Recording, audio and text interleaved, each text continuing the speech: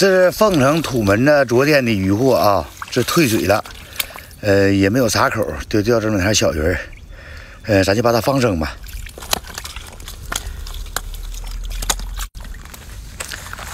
放了吧，都放了吧，咱们去往下下一个钓点啊，再找再找水库，因为这一段时间呢，水库都在放水，呃，鱼情确实不好。